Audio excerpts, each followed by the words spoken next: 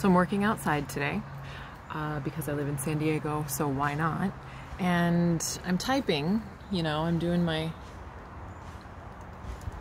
doing my writing, and I keep feeling like someone's watching me. And I think that's who's watching me. I mean, when you're a solopreneur, you don't have a lot of office mates. Uh, so yeah, I mean, I guess I'll be happy he's my office mate.